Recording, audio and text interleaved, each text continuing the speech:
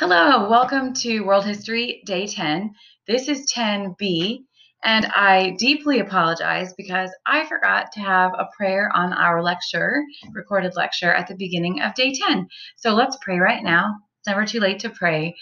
Dear Jesus, thank you for the opportunities that you have given us today to learn about ancient Egypt in Africa. Please help us do all the learning that we do to your glory. In Jesus' name, amen. So, this is day 10, 10b. Uh, the fourth note to write down is that Upper Egypt was actually here, south of Lower Egypt. We talked about that. It was upriver or higher elevation, higher above sea level, land above sea level. And uh, this was considered this region to the first cataract. The first cataract is here, which was a major waterfall. They called this major waterfall.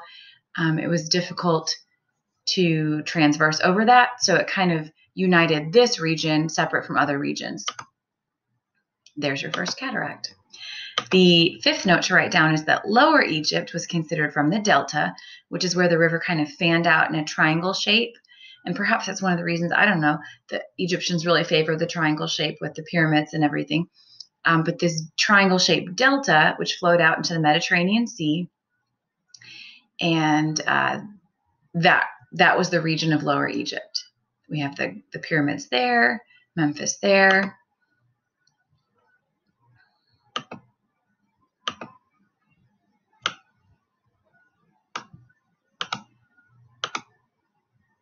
Okay. And uh, I guess nothing to write down on that slide, but it's talking about some considerations. So the land that's closest to the river and the mineral deposits is considered the black land, the really rich land where you could grow a lot. And then the red land does not have as many, many mineral deposits or access to the floods in the delta of this region that goes towards the Mediterranean Sea.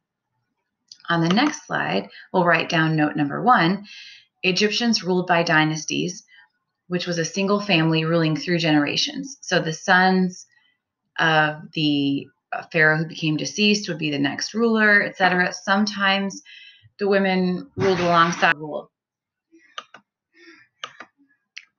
And for some dates, the Old Kingdom of Egypt from 2615 BC to 2175 years before Jesus Christ.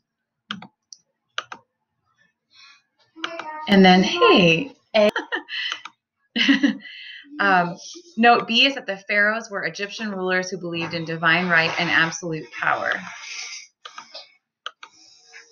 Actually corresponds to what we know from Old Testament history because guess which famous person we know had this job?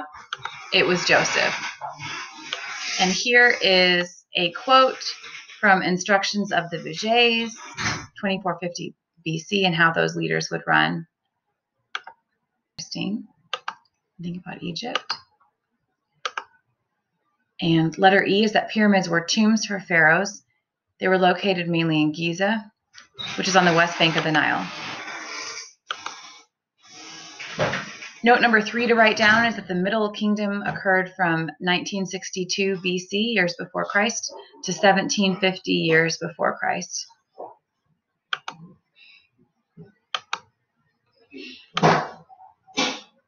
The Middle Kingdom, a letter A to write down, is that this was a time of corruption and rebellion.